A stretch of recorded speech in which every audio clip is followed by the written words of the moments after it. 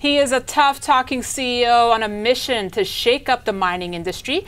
Since my next guest took control of the world's second biggest miner, he launched a hostile bid for its arch rival, now a partner in a joint venture a buyout of a struggling subsidiary, and has sold more than 1 billion of assets. Mark Bristow, head of Barrick, joins me today in studio. Mark, it's been too long. Congratulations. Thank you, Danielle. It's been so long. The last time I spoke to you, you were still at Randgold. That's correct. And you've have had tremendous success at Barrick. You are one of the greatest uh, CEOs in, in, in, mining history. Um, but my question is, you've accomplished so much this year. You've said in past interviews your vision now is where does where is my company in the next 10 years? Exactly. What's the strategy for barrick? So uh, you know this last year has been fun um, as we've delivered on everything that we said we would.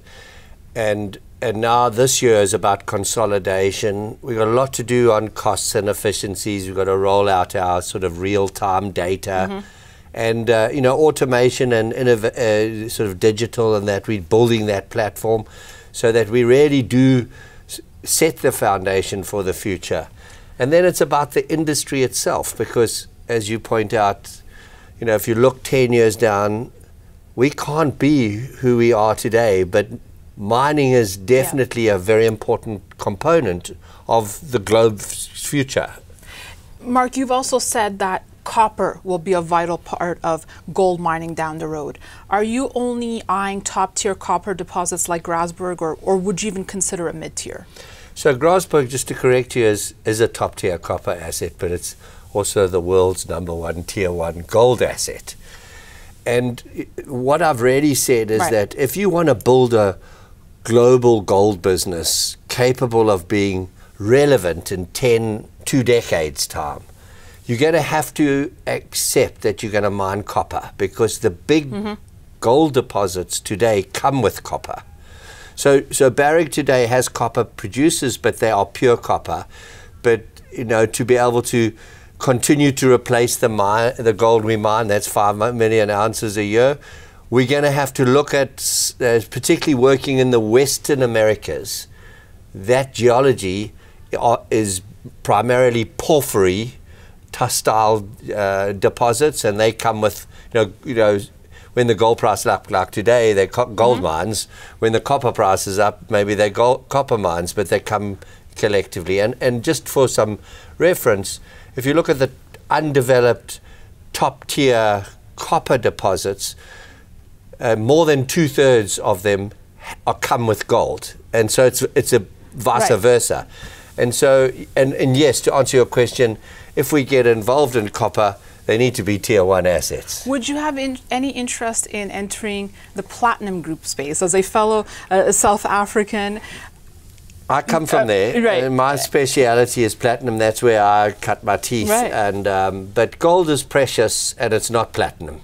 It's not platinum, but now with the run up in, in palladium and look yeah. at rhodium, it's incredible. Yeah, it's no it's longer the most precious uh, in the space. Well, gold is still the most precious. um, but gold is, you know, the difference is if you look at copper and, and, and, and gold, they come together geologically. And also metallurgically, the process that you use to extract and mm -hmm. refine right. them, it's easy right. and it's very similar. Whereas platinum is a completely different game, found in different rock mm-hmm. types. Mm -hmm. It's a different geology Let's get your sentiment on the mining market now. Spot gold, uh, you know, up 8% year to date, but gold miners are underperforming. I'm not putting Barrick in that category since you're actually outpacing uh, a physical gold. Um, but why the disconnect, do you think?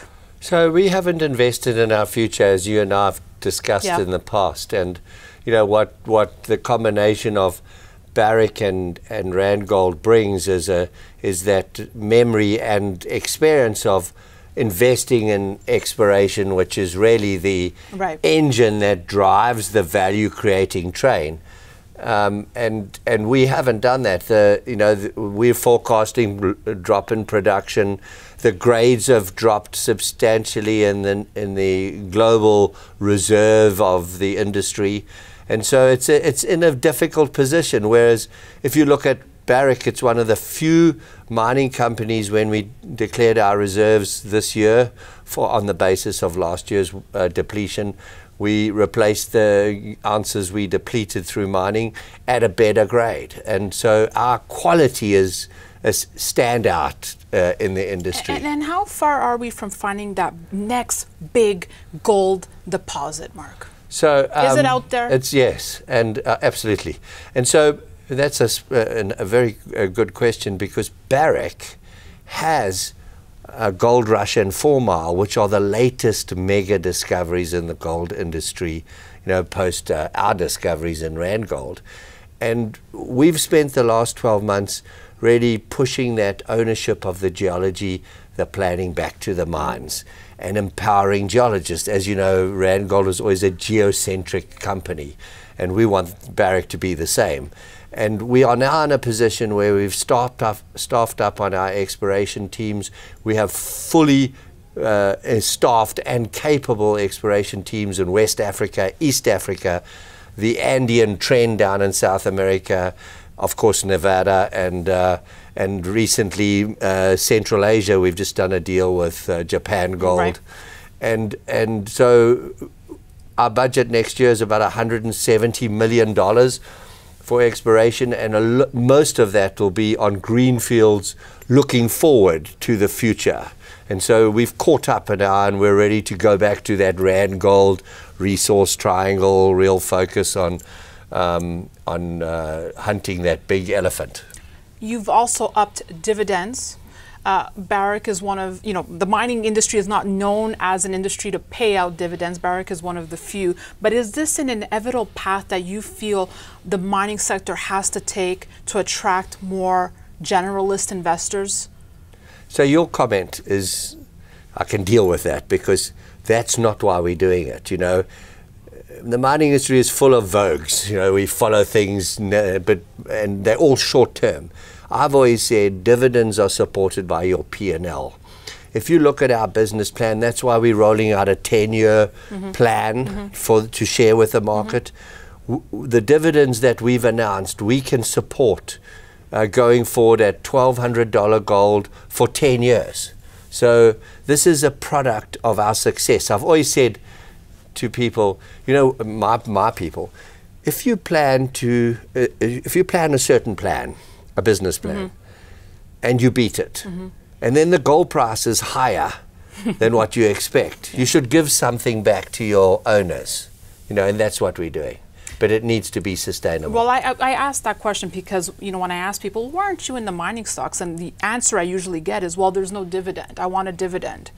And you know, when we when we talk about well, how can you get people interested and educated in the mining sector? That's where my question was headed. Is do you you know do you exactly. need that dividend? So, so if you go back to Randgold Resources, our P and L looked like any other business uh, anywhere in the world. Um, and the mining industry's always got a little uh, strange. Uh, it's it's it's P and L, its income statement has always been a bit challenging to understand we've brought Barrick to that point. You know, if you look back 12 right. months, we have uh, we have halved the debt. We've got six and a half billion dollars of liquidity. We really have a business that's capable of delivering over 10 mm-hmm. years.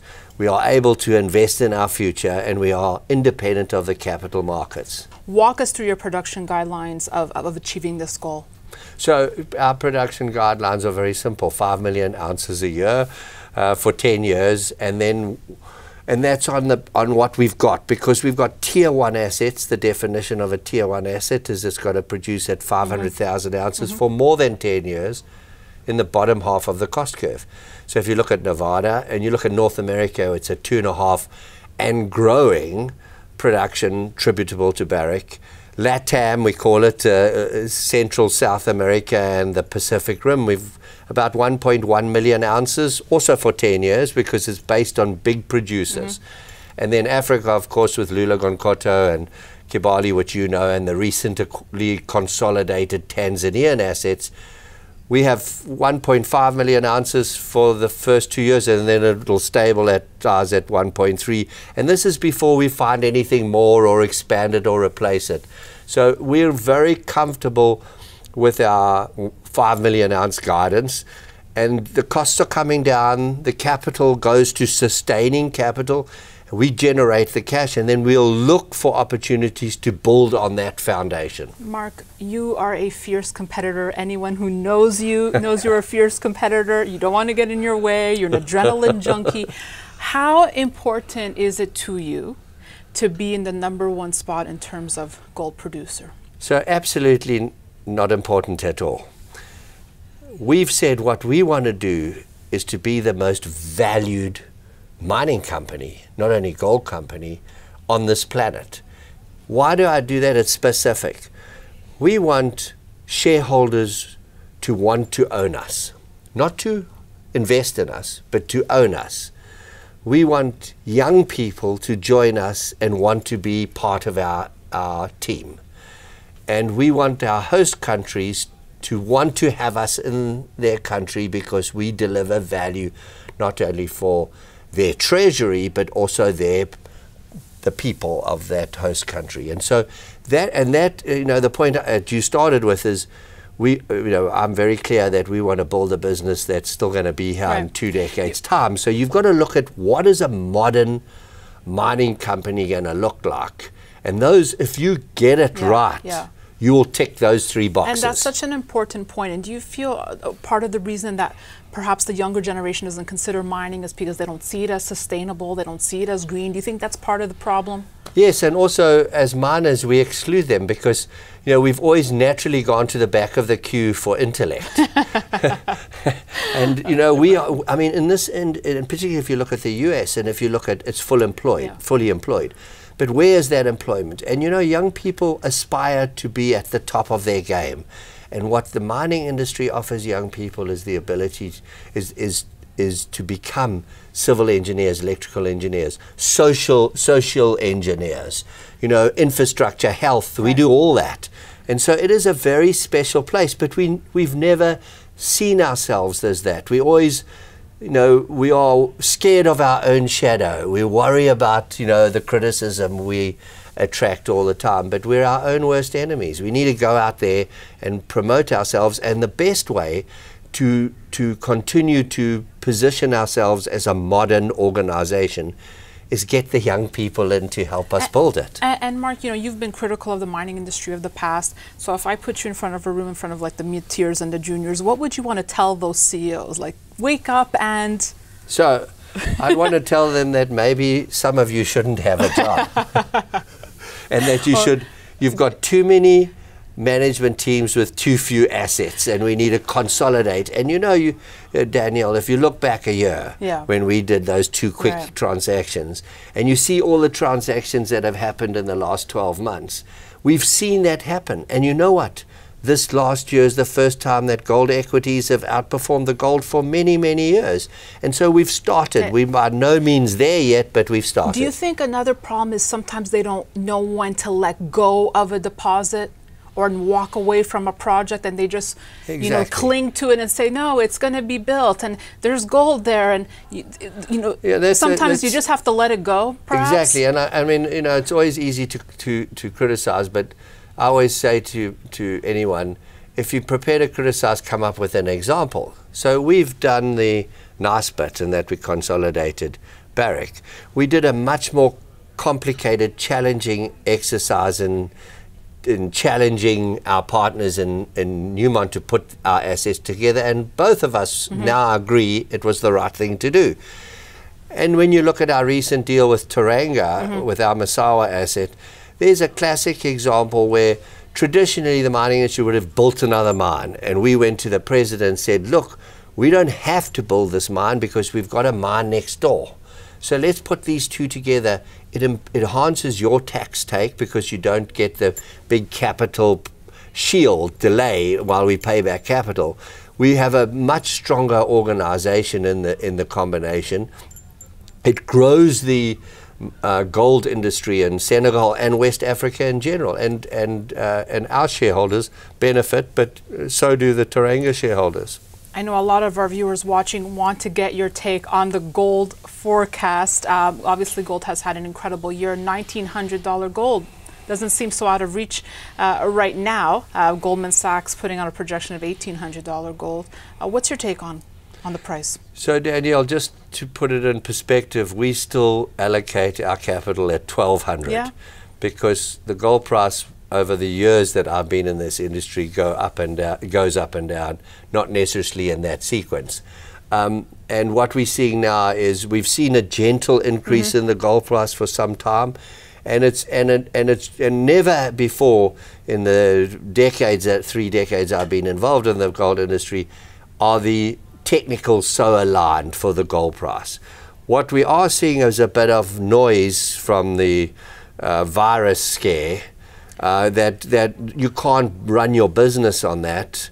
You know, various other investors position themselves right, right. Uh, around that risk, and that's why the gold price has spiked a, a right. little bit.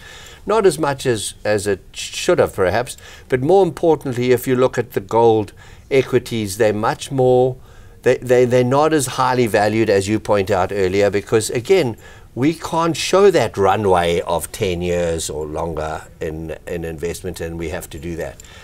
But I would say, um, I would say that the gold price is very definitely uh, has more upside risk, and I'm talking about from the sort of average that we saw around 13 to 1400. Mm. And we've seen it break 1500, we've seen it break 1600. Some of that is short term. But the other thing is, you've seen as well China immediately move to create more liquidity. Con- and, and this, this um, global economy is too insular, too focused on short termism. We're not, as a, as a globe, global economy, focused on everyone on the, on the planet. Interesting. And we, you know, so when you look at this, I just think that the, the geopolitical risk and the economic risk of our planet as it stands today is at risk, um, and uh, and and and so driven by, of course, this the, the concern about the environment. But I would urge people to look past that to society, the S and the G and the ESG, right? Um, because really, we as a, as privileged members of this global community should be worrying about how do we make sure that we don't leave anyone more anybody else behind in our sort of vision and we bring those people out of poverty. Right, but there's too much selfishness. Exactly. Right? You mentioned the coronavirus, and, and you said you can't build a gold business based on this, but it has supported the, the gold price. Um, it has uh, put the stress on the copper price down 9% year to date. Uh, has it impacted mining operations? No, uh, not yet. I'm sure it has in some parts of the world.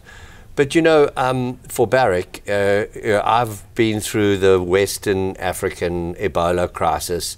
We're still dealing with the Ebola crisis in the Eastern DRC. It's, by the way, today was the eighth day we haven't seen a new infection there, and we we understand that that epidemic risk. And uh, although Ebola is not as infectious as uh, as the coronavirus, it's a lot more deadly. And, and, and what we've learned, and we've already rolled those uh, uh, uh protocols out, is common hygiene is so important to managing this, understanding everybody coming in yeah. and out of your organization. And you know, we've we've got uh, assets everywhere in the world in the and and in the, the the developed world is the place that you have to really worry. I can't believe it's already you know over a year that uh, you're at Barrick now. Looking back, a particular highlight for you of this past year, Mark? You know, the highlight have been the people that I work with. Uh, you know, we I, I remember sitting with uh, John Thornton and saying, if we're going to do this ambitious project and we're going to get everyone behind, the most important thing is the people. And in July uh, of 2018, we we got 11 executives from both sides and we sat down for a day and worked through uh, getting their input on yeah. what you know, sharing what we wanted to do, and getting their you know, their concerns and their what excited them and so on. And then in November of 2018, we had a 30-person review, and we with a with a facilitator, and we worked through our vision and who, what we would all mm. do in the next 12 months. And last two weeks ago, we had that same uh, workshop. We look back, and it was amazing. Everyone was amazed, but it was what how much yeah. we achieved against what we set ourselves to achieve. And again, it takes me back to young people, agility. You know, the greatest thing about younger people from my compared to my generation is we were good learners, but you had to teach us. Uh, the young people teach themselves today, you know, the gizmos and technology well, we and that sort of thing. And so, and so, you know, and, and really to see that success and, and, and, and everything we achieved last year is really uh, a result of that teamwork well, across the Barrick Group. You have had tremendous success, Mark, and now you are headed to the PDAC yes. in Toronto, the world's largest mining uh, conference. I will not be there. Kitco News will be there, um, but you are a keynote speaker. So, yes. what, what's what's your message going to be? So, I've got two messages. One to Africa about uh, you know when you look at this world and you look at the demands on metals and minerals, Africa has, and everyone boasts about Africa's endowment, and it's never been able to unlock it because you know we think we short term globally, but mm. Africa is even more short term, and we sort of eat the lunch before it's baked. And so uh, there's a huge opportunity by 2025 Africa will have the biggest, the largest population under 25 years old.